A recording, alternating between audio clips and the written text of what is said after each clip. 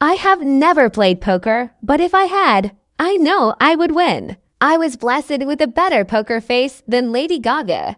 My dad left his Birkenstocks within Puz's reach, and my mouth was watering thinking of gnawing on that leather. The second they left the house, I went for it.